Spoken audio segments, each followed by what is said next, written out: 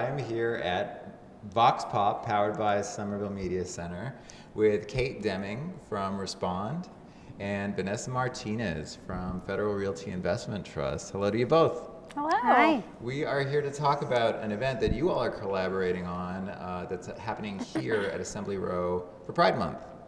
Um, so, Kate, why don't you tell us how this idea took shape and what it entails? Well, we've uh, we've had a great partnership with Federal Realty Investment Trust uh, developing over the past couple years, and we were really excited to uh, jump in and do something here at Assembly. Um, so when they approached us about the silent disco, we thought it sounded awesome, and um, it's a great way. Uh, we love being a part of Pride, and uh, it's a great way to get our message about um, domestic violence kind of out there, but also have a good time, raise some much needed funds. And Vanessa, what does a silent disco entail? Ooh, what does it entail? So it's silent.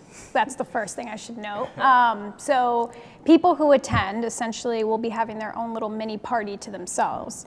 So you will get a pair of headphones, and there will be three channels playing different types of music. And it'll be on the street, but basically, if you want to listen to 90s pop music, you can switch that onto your headphone, or if you want to listen to Pride classics, you can switch that onto the next channel, but only you can hear it. And it's kind of awesome because no one else around you is knowing what you're listening to or enjoying in the fun with all your other friends. So it's a very unique experience, and it's our first time doing it here. So really excited. Very nice. Um, so, what is the what is as you put this idea out there? What kind of response have you been getting? Um, definitely that that's really interesting or that's cool. um, I think the other piece that I keep hearing about it is that because it's part of Pride and that's it's our first time collaborating on Pride and doing something specifically for that, I think a lot of people are really excited because I think it adds more to the event. It's June, it's going to be nice, it's going to be a block party in front of smoke shops. So I think for most people, they're just like, that's cool. I, I want to go and I want to support Respond. So yeah. So, why don't we talk a little bit about Respond um, and its mission in uh, helping to prevent domestic violence?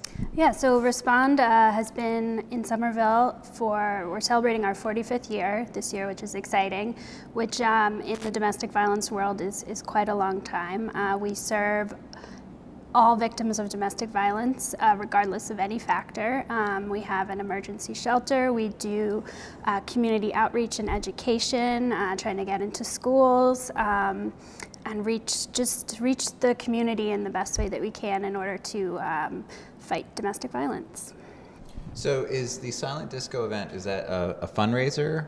Yes. So, there's a Yes. fundraising uh, donation component Exactly. to it. So, portion of the proceeds obviously will go to Respond, and I think the whole idea is to raise awareness around what Respond does um, while having fun, essentially. So, it is a fundraiser in essence. Um, part of the event is you will obviously purchase a ticket to attend. You'll get headphones, but part of it is you'll get access to a cash bar and food from Smoke Shop. So, it's actually a really fun idea just to be able to go and get some Pride swag, but also support an amazing cause. Yeah, and so peop do people need to register beforehand? Yes, so people can visit our website, assemblyrow.com, or Facebook, and there's an Eventbrite link, and you can purchase a ticket right then and there really easily. Very nice. Mm-hmm. Are there any other events in the pipeline uh, for Respond this summer?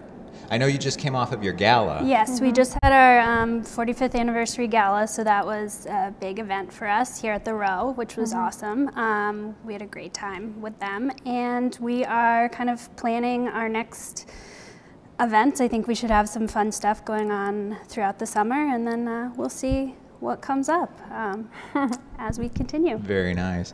And Vanessa, are there any other Pride events besides Yes. the Silent Disco here at Assembly Row? Yes, so we are actually doing our Pride kickoff with a banner unveiling on May 30th um, in front of our trusses. So for us, this is a big deal because we've never really done Pride um, ever before here. So we're you know, starting strong by doing a banner unveiling and having a Pridescape, with, which is like a photo op Instagram thing where people can stand in front of it and take photos.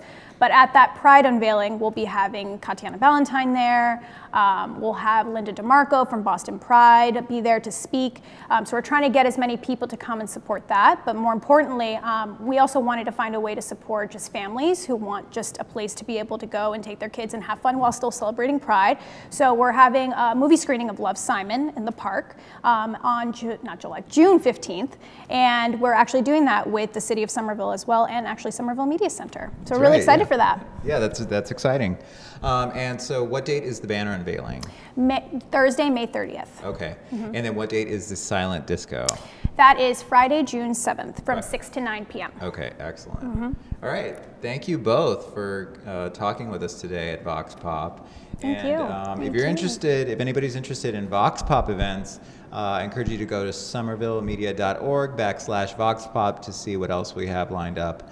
Uh, a lot of events coming coming through in and around here. We're excited to be here with uh, with Frit here at Assembly Row, and uh, thank you both again for Thank coming you. on. Thank And you. we'll see you at the Silent Disco.